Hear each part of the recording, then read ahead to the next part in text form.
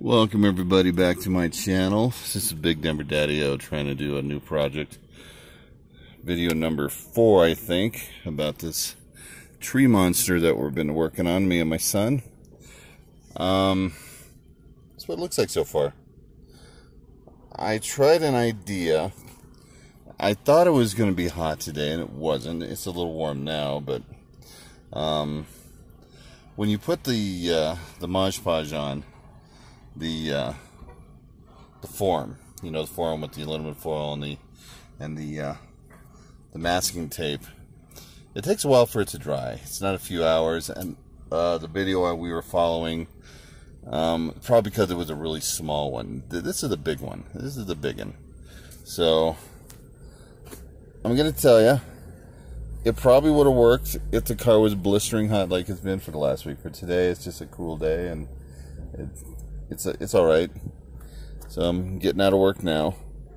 Um, some of this is still pretty soft, as you can see. You can kind of push on it. Some of this is really tight. You can hear it. It hardens up really well. Now the face is very tight, very stiff. So the Mod Podge actually works really well. But you gotta let it dry all the way. Now the reason why we did the Mod Podge is because she had a um, had said in her video that it prevents from the molding, and that's a big thing because there is a lot of paper on here, and a lot of places where moisture can get trapped and and cause molding issues. So, so that's why we went with it. So so far, it's actually a very good um, idea to do to use the Mod Podge instead of paper mache. Now there are things you can do with paper mache that'll prevent it from molding, but for this particular project, I wanted strength, a little bit of flexibility, like the fingers are,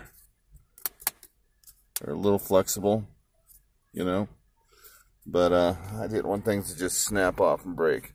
Now, paper mache has the tendency to crack and fray. Uh, this is a little more flexible, and it looks cool.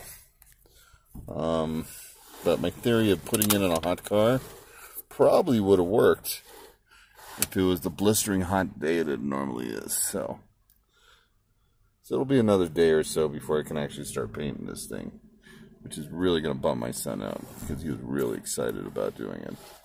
So, we're just going to work on his alien face hugger project that he was doing, and uh, hopefully that'll give us some some extra time for this thing to dry. So just a warning, if you're going to do a really big piece, account for the time. Don't rush through it. Do what you can. Um, you can put it in your car if it's a hot day. Um, and today is not that day. So anyway, uh, this does stiffen up really well. You can hear it. Places that are hard are really stiff. Really, and still kind of flexible. You can tell it still moves. Still kind of flexible.